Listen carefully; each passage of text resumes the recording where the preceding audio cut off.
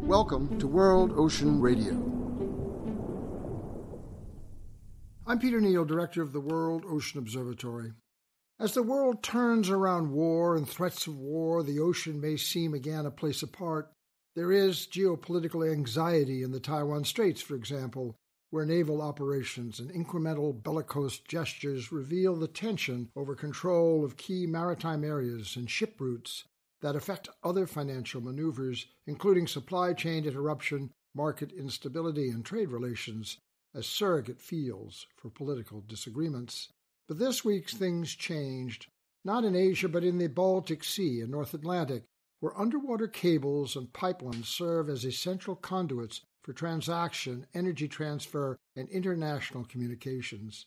Those facilities are mostly unknown to the general public, but without them the public and its interests would be severely curtailed, another function of the ocean around which so much of our modern world is organized. This week, the underwater gas pipelines, Nord Stream 1 and 2, connecting Poland to Norway as a future distribution route for Russian gas sold to Europe, were sabotaged by as yet unidentified agents. Neither pipeline was operational, but the breaches caused several enormous leaks of methane contained within into the ocean and atmosphere. Methane is, of course, a prime contributor to climate change, and this incident has been described as the largest single methane release in recorded history. The leadership of the North Atlantic Treaty Organization characterized the action as deliberate, reckless, and irresponsible. Suspicion fell immediately on the Russian government, but there are questions as to why it would sabotage what was the instrument for gas sales to needy European markets and a necessary means for future capital.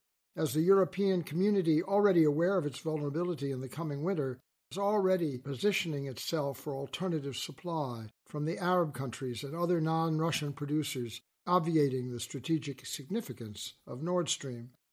There is, in fact, a new pipeline for this purpose from Poland to Norway that runs in parallel and in some places crosses the Nord Stream line.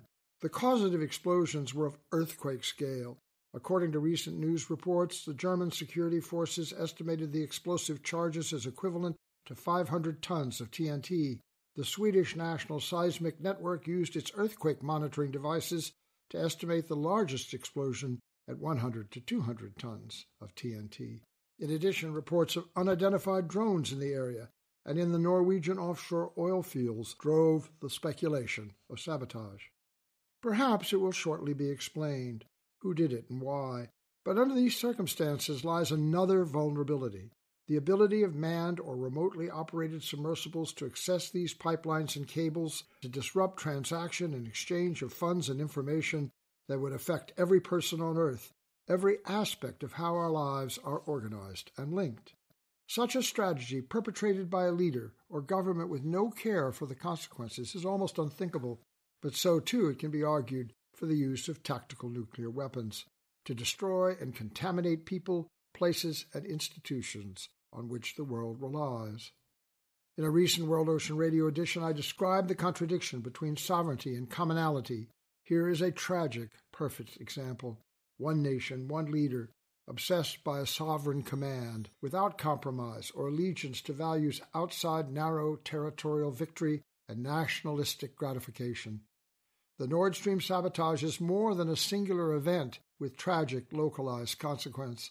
It is a symbol of disconnection, ironically placed on the ocean floor as part of a system of connection, invisible underwater. It's a line still cosmically crossed, a moral outrage. We will discuss these issues and more in future editions of World Ocean Radio.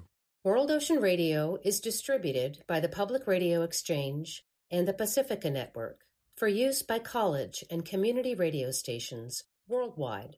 We are grateful to the staff, volunteers, and supporters of WERU FM 98.9 in Blue Hill, Maine, for broadcasting the first World Ocean Radio episode more than 10 years ago and continuing to run episodes each week without interruption since. Find us wherever you listen to podcasts and at worldoceanobservatory.org.